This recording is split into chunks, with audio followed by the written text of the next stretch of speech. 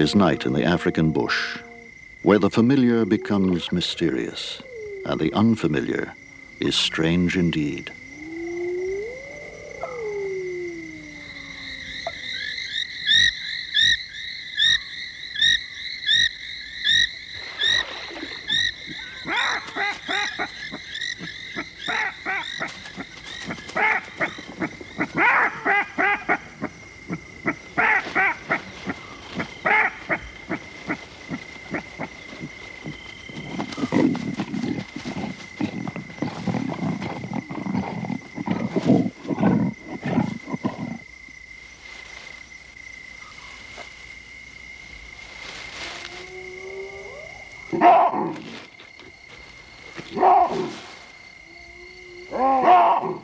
It is the time and place where lions come into their own, and man does not willingly venture.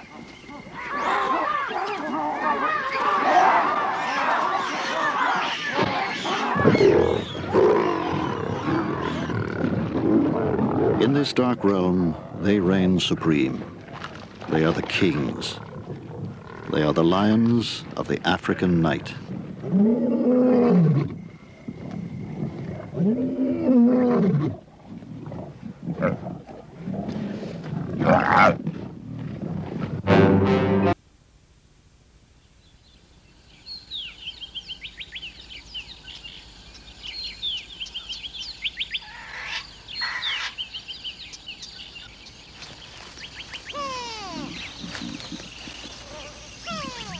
A day in the bushveld of southern Africa draws to a close, and a pride of 30 lions that has dozed and slept through the long hot day lazes on.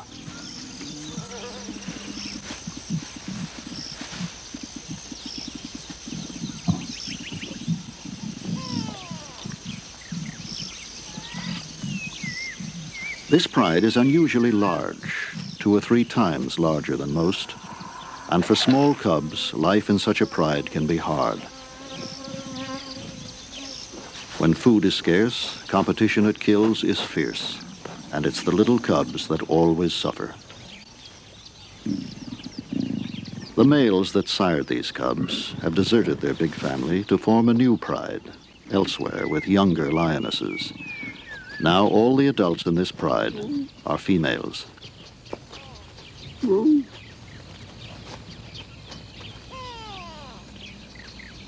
They rest on, waiting for the day to cool.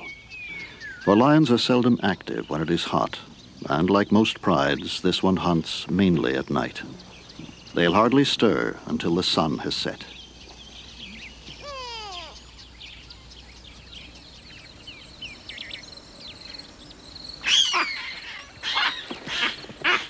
As the day winds down, young baboons cavort in a last burst of play.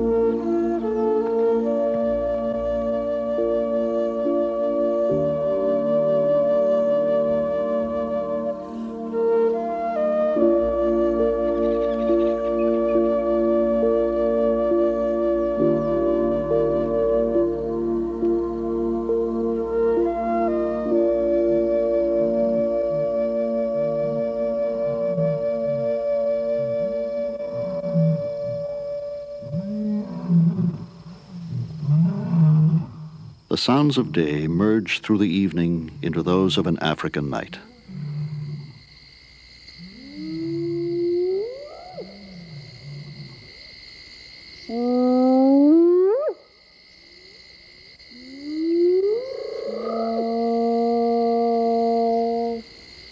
A hyena sniffs the night. Produced is magnified in intensity as much as three times.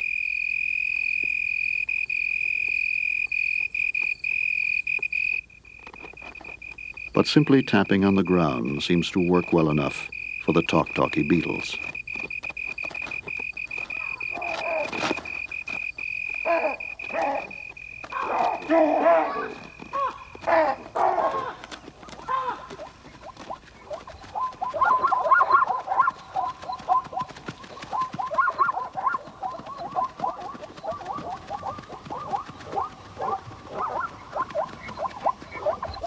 Their first hunt of the night, the lions have failed to make a kill. They have panicked and scattered a mixed herd of zebra and wildebeest, which are still vulnerable as they try to regroup.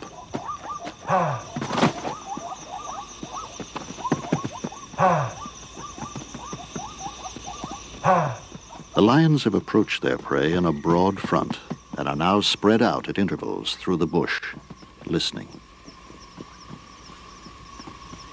When hunting at night, lions rely almost entirely on their acute hearing. They move noiselessly through the darkness, stopping frequently to stand motionless, listening for the slightest sounds of their prey.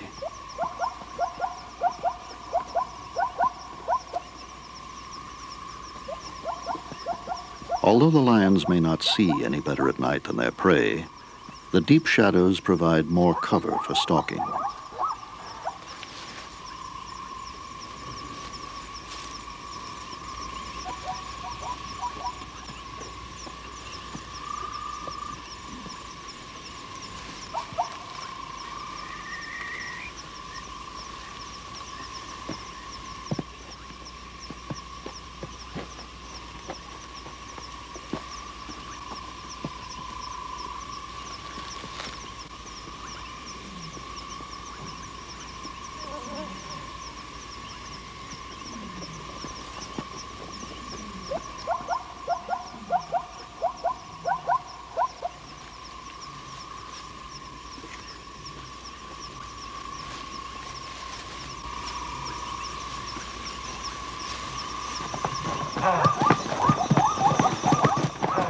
Has picked up the scent.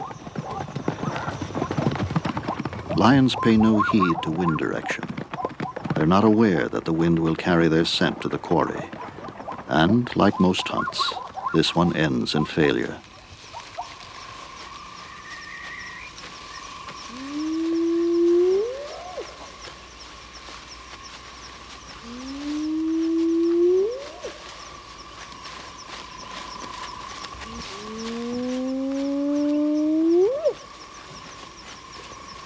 With so many mouths to feed, a pride like this has to hunt nearly every night. To survive, each year they will have to kill about 250 animals the size of a wildebeest.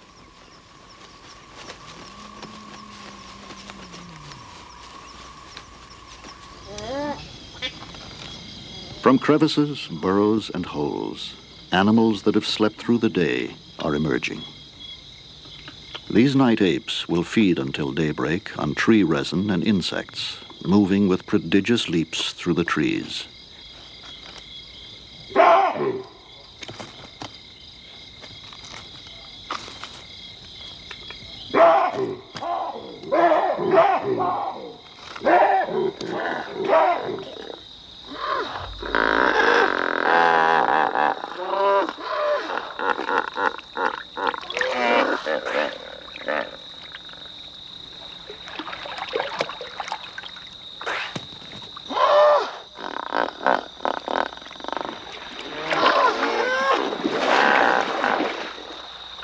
Hippos, having slept and rested in the river all day, emerge now to feed.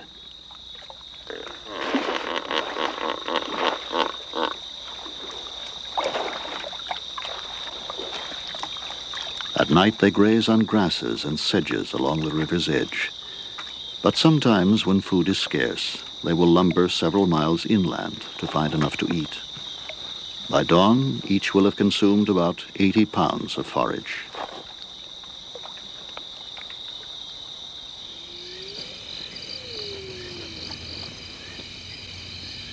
From his burrow entrance, a porcupine tests the safety of the night before he leads his family out to feed. The tiny pups, only a few weeks old, will accompany their parents along regular trails in their search for the bulbs, roots, and bark on which they live.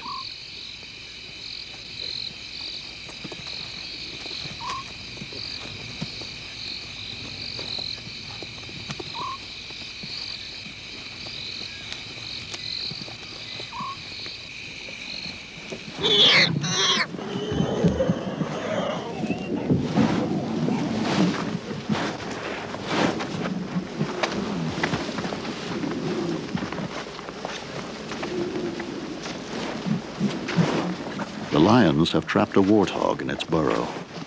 It's a prize they cannot resist, and they will dig until they unearth it.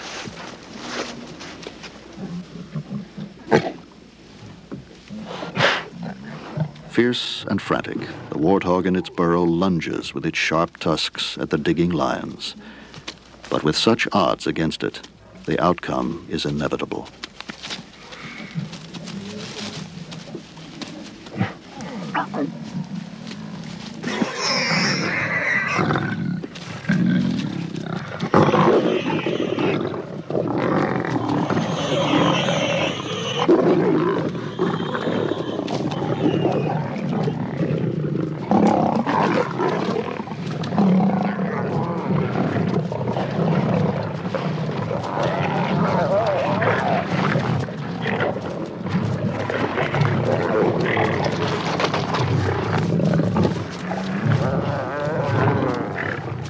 only a lucky few get a meal from such small prey. The others search the ground for scraps.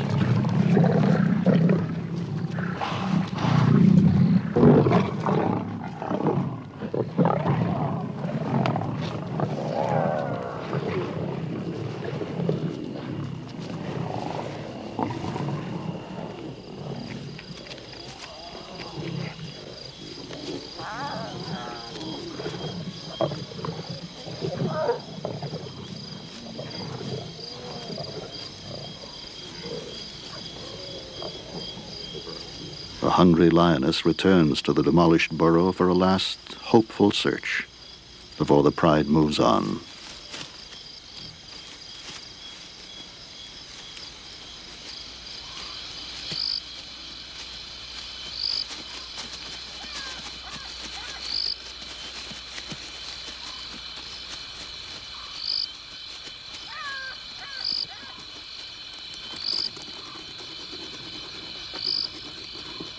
Black roach digs the hole where she'll place the package of eggs she carries attached to her abdomen.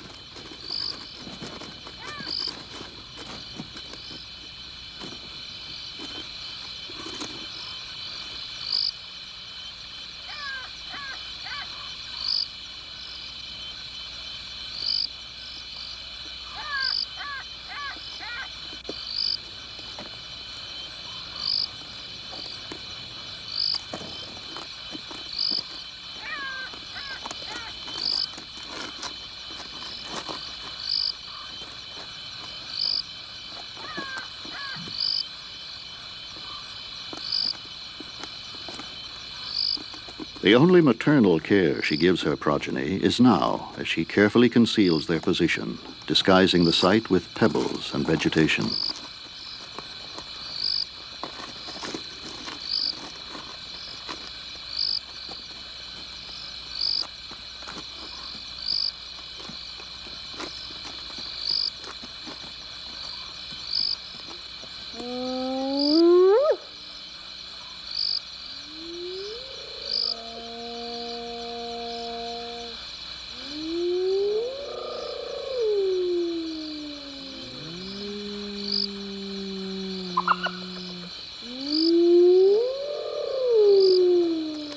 Care is more developed in this large centipede.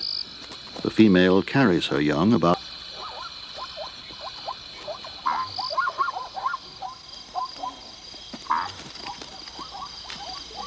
Centipedes, too, have predators.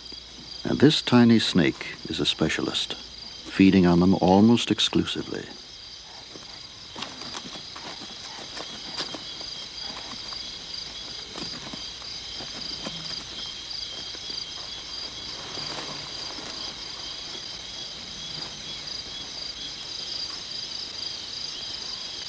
Little snake is able to swallow centipedes almost twice the diameter of its own body.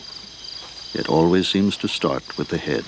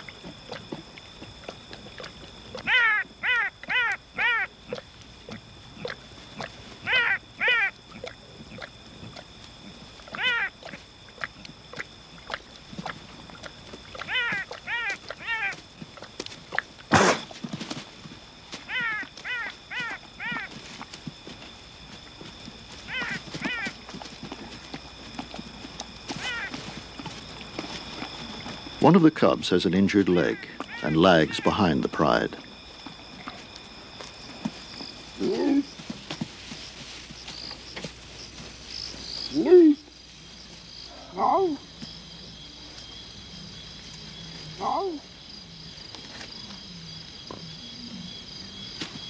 The pride does not wait for her, and she struggles to keep up. A civet is more at home on the ground, but a dead tree is a handy refuge when 30 lions pass by.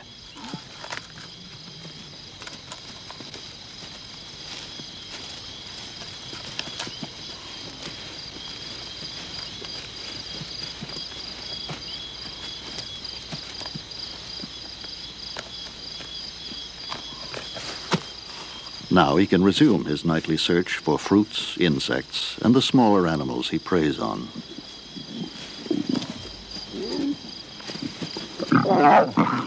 When the cub catches up with the others, she must endure the rough bullying that young lions inflict on one another, especially on those with any disability.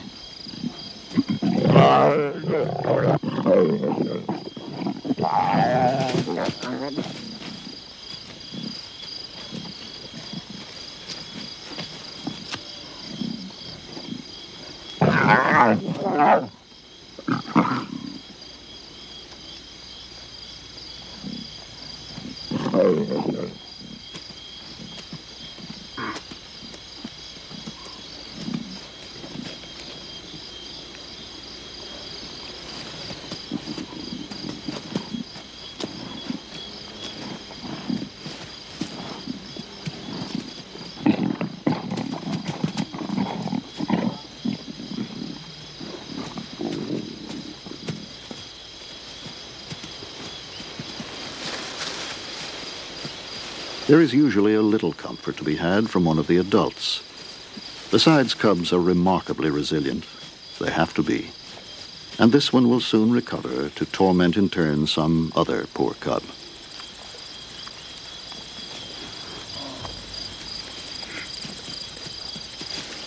Unless driven by hunger, the hunt proceeds at a leisurely pace. At intervals through the night, the pride will stop to rest and sometimes even to sleep soundly for a few hours.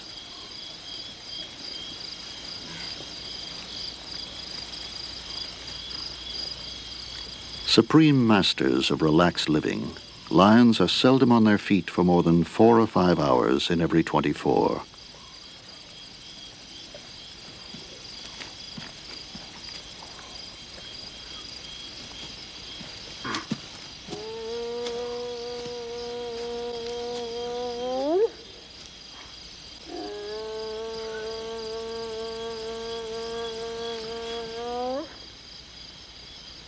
These are the tiny tracks made by the larvae of ant lions.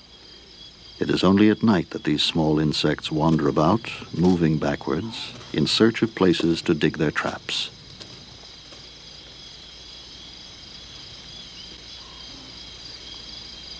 The head of the antlion larvae is dominated by large hollow jaws, through which it sucks the juices of its prey.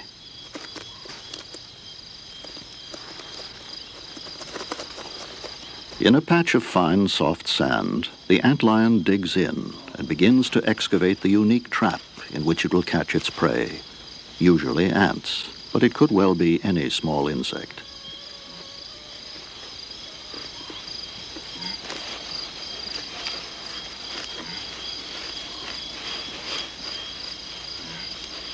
Turning in ever-decreasing circles, the antlion uses its head and jaws as a shovel to throw the sand and small pebbles out of the steep-sided pit that it digs.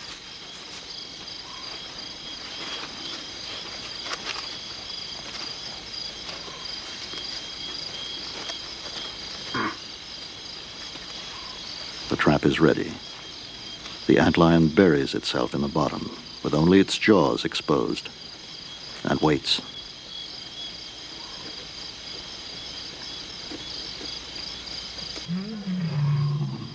Roars in the night can mean danger for the pride. These come from a group of males that have been trying to take over the pride and its territory for some months. But the intruders are shunned by the pride, for males tend to kill cubs they have not sired, and they always appropriate any prey killed within their hearing.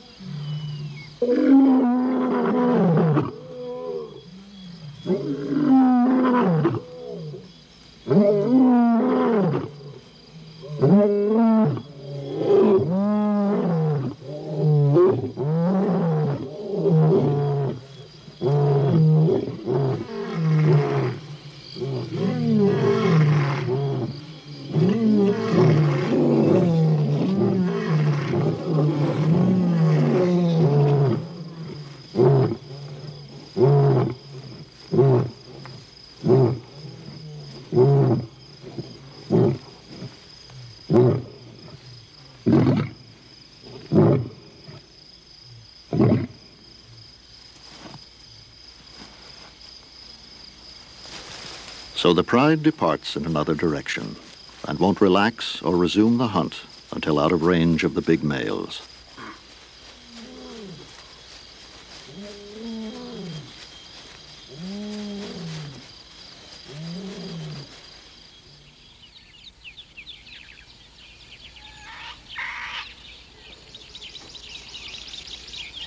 Dawn finds them safe and asleep, several miles from the troubles of the night. Most nights, the pride will walk about five miles. But when foiled in their hunt, or to avoid other lions, they may cover twice that distance.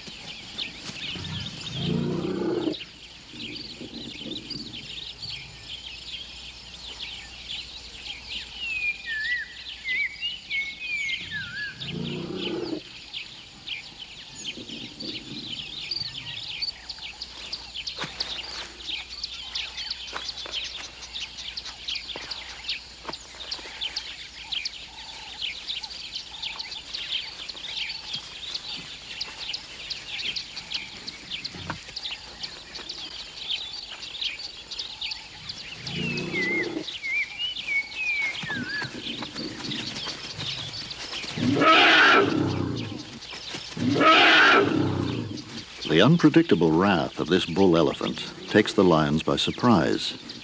There is no point contesting the matter, and the pride moves on to find a more hospitable place.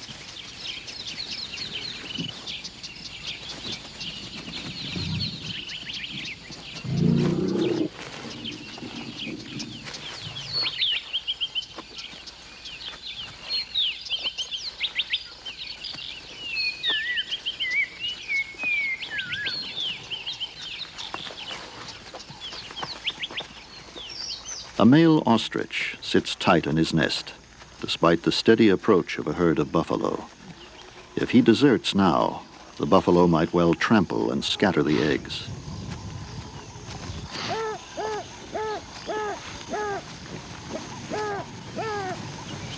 But the approach of a herd of lions is too much for the buffalo.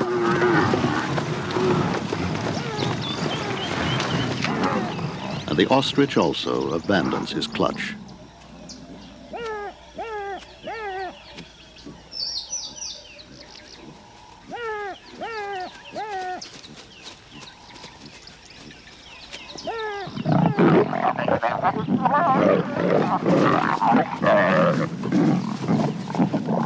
These eggs are a novelty for the lions. In the excitement of the first rush on the nest, one or two eggs were smashed and the contents fought over. But now the lions are puzzled and unable to open the others.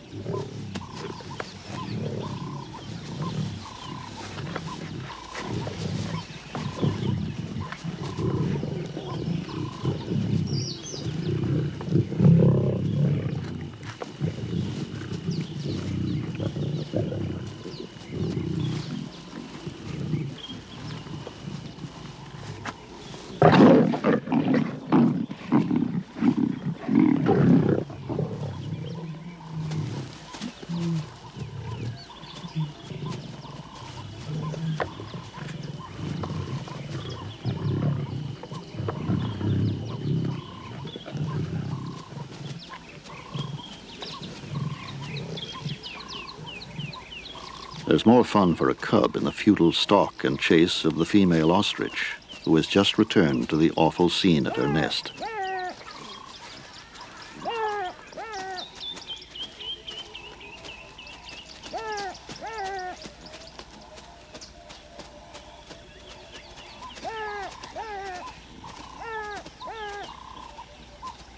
The remaining eggs are lion-proof, and the pride wanders away to seek shade where they will sleep through the rest of the day.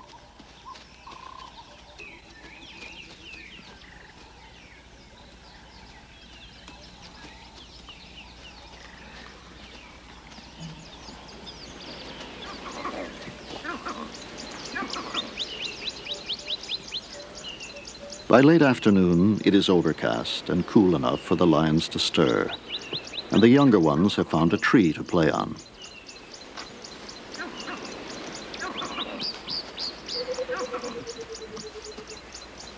But tree climbing is not something they're very good at.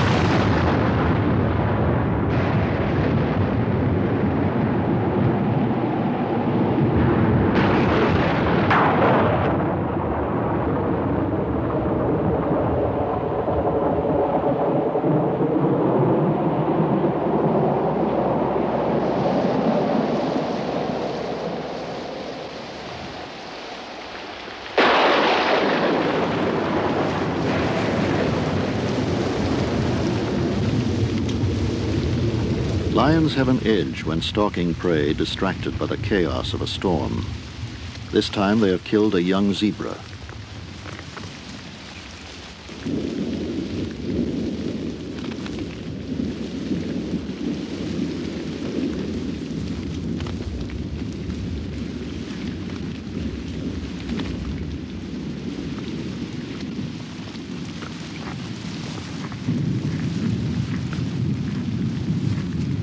Even the lions are unnerved by the fierceness of this storm.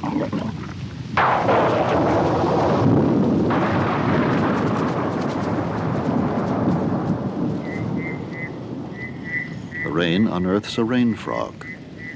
Most of the year, they are inactive and remain buried underground. They emerge only when the earth is soaked. The storm has damaged the tunnels of termites, exposing the workers and making them easy prey for the quick tongue of the rain frog.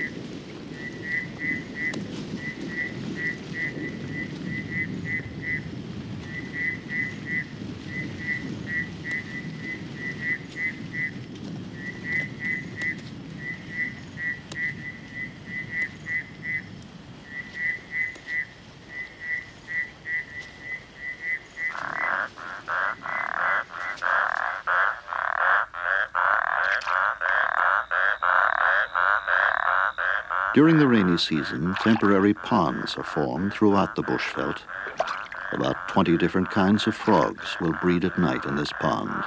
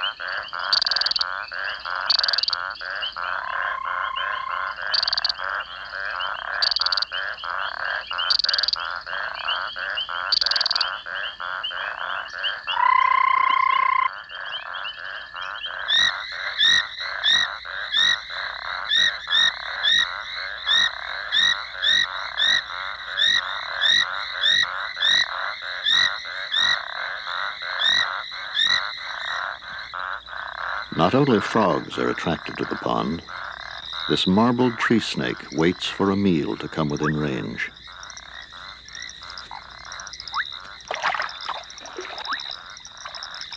Most of the frogs will deposit their eggs in the water, but there are exceptions.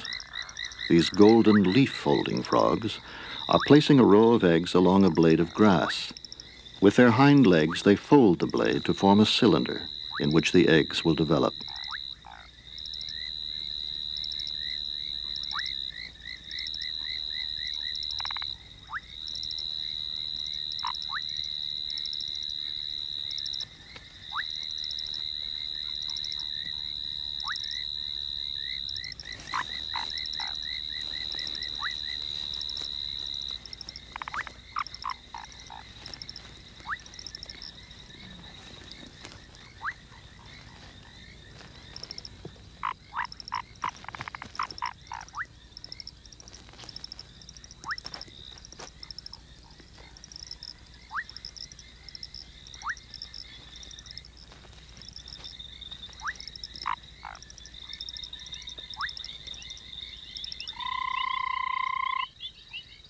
Far the most numerous predators at this pond are the spiders.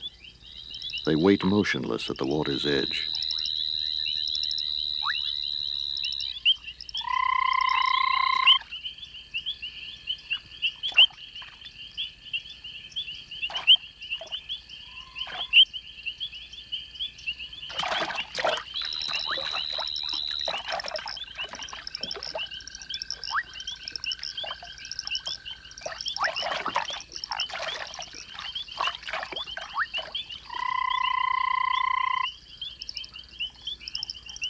Frog has been subdued, the spider carries it out of the water to be consumed.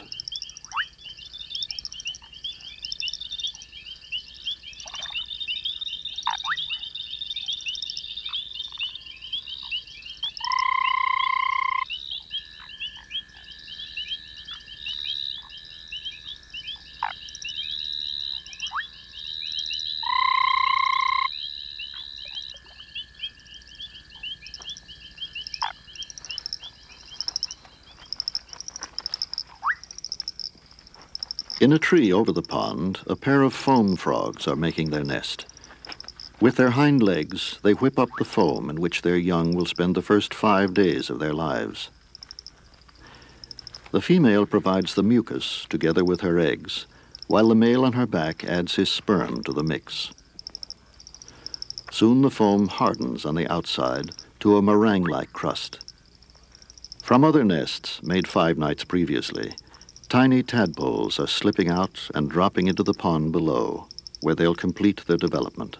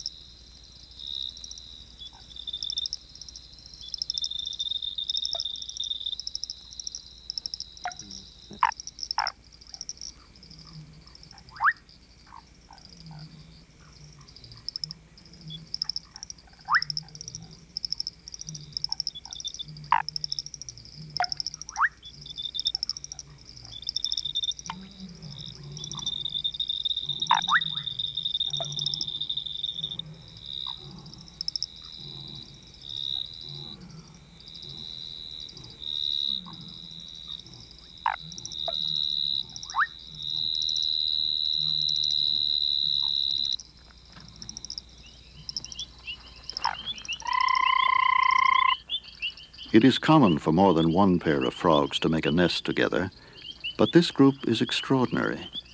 About 40 frogs are contributing to this nest, which, when completed, will contain about 3,000 eggs.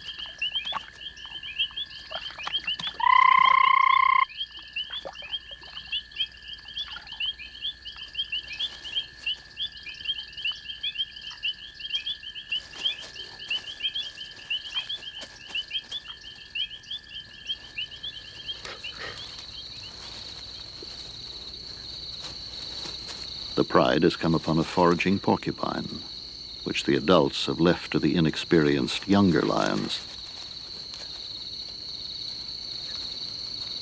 The porcupine has been wounded, but not badly, and there is much fight still left in it, as the cubs are finding out.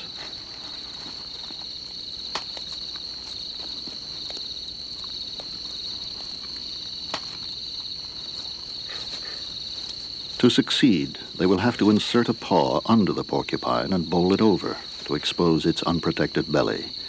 But they're not finding this easy and frequently get stuck with quills. The encounter eventually becomes a lesson in restraint.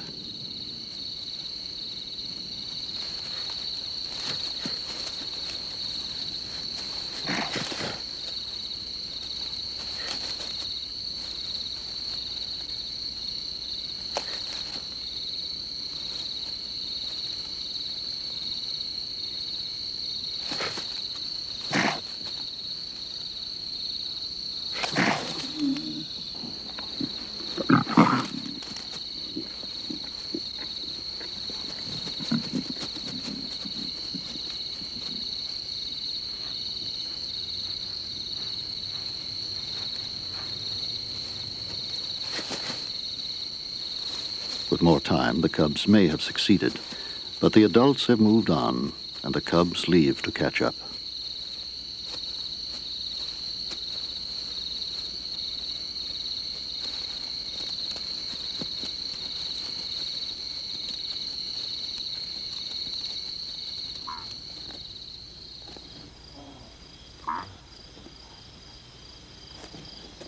A scorpion clears the sand from its burrow before settling in the entrance to ambush passing prey.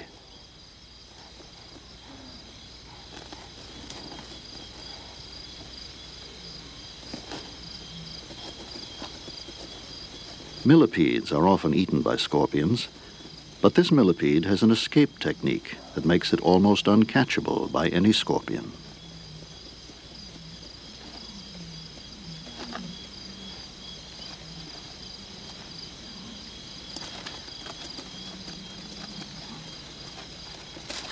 When molested, it flips onto its back and, snake-like, slithers out of range.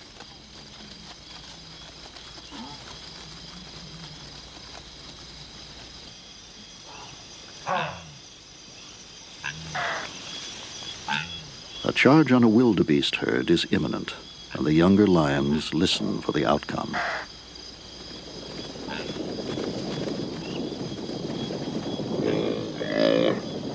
This is the ultimate test of their ability to survive.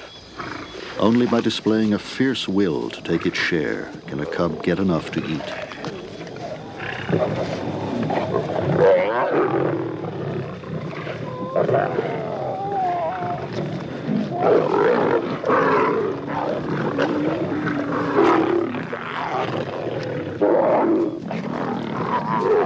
And it is now, when the abdomen of the wildebeest is torn open and the choicest portions become available, that the competition is keenest.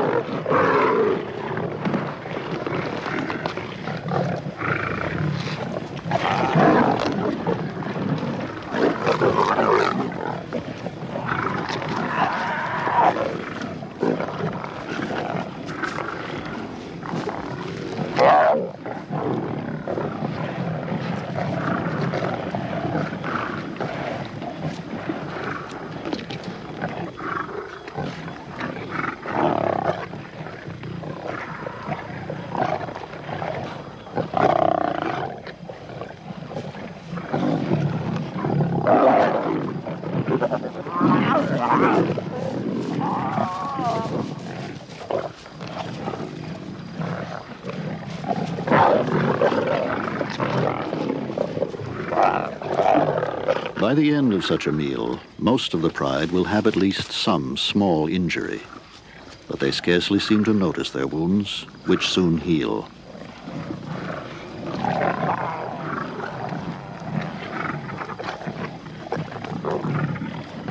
Eventually the carcass is dismembered. The adults and larger cubs have taken their spoils into the surrounding bushes to gnaw on in peace. The younger cubs now have easier access to the remains of the carcass, which they attack with a will.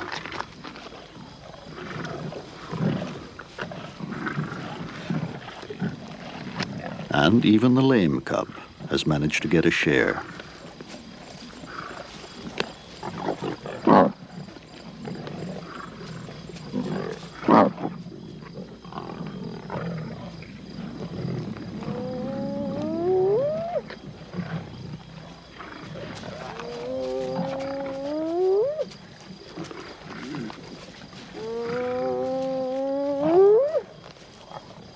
Hyenas and jackals that would snatch a meal from smaller prides find this group too formidable.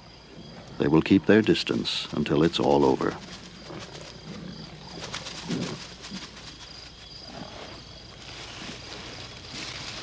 The lions that have finished eating groom one another, licking away the blood from each other, and probably renewing bonds that were battered during the frenzy of eating.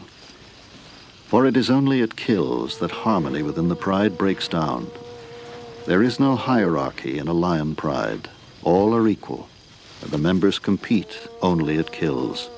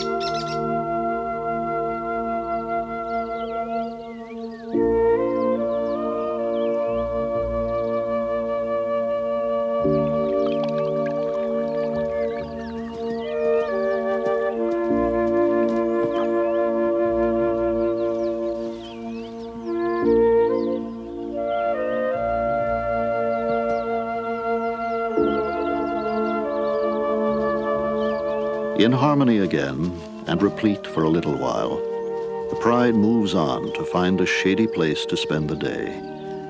By nightfall, this large family will be hungry. Impelled once more on their everlasting search for food, they will resume again their journey through the African night.